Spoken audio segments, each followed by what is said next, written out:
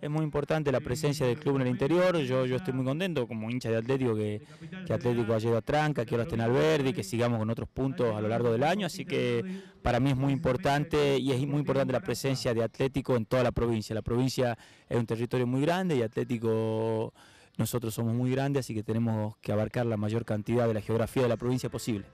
Preseleccionando en una etapa previa, porque arrancan, arrancan ahora, después hay otro filtro en el mes de noviembre, diciembre en el complejo, y después arrancarán la pretemporada en el mes de febrero los que, los que sean seleccionados.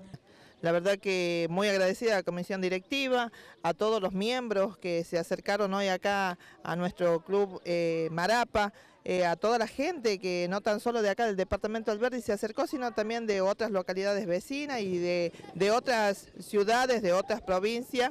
para que los jóvenes y los niños este, puedan participar de esto tan lindo, con una ilusión también grande para ellos y bueno, seguir soñando con los pies bien puestos sobre la tierra y nosotros desde el Ejecutivo Municipal acompañando en esta iniciativa que la verdad que es digno de valorar que el club se acerque acá a nuestra ciudad y principalmente al interior. Nosotros que hemos tenido la posibilidad deportivamente este último año de estar en la cresta de la ola, porque competir en dos copas internacionales, hoy mm, seguimos en la Copa Argentina, estamos en la Superliga, digamos, mm, no, es difícil que un equipo salga a buscar jugadores. Eh, en Tucumán creo que no se dio nunca, generalmente siempre se los recibe en el club, como veníamos haciendo nosotros, pero bueno, creemos que este tipo de, de actitudes que son en definitiva por lo cual el club fue, ha sido creado, ¿no?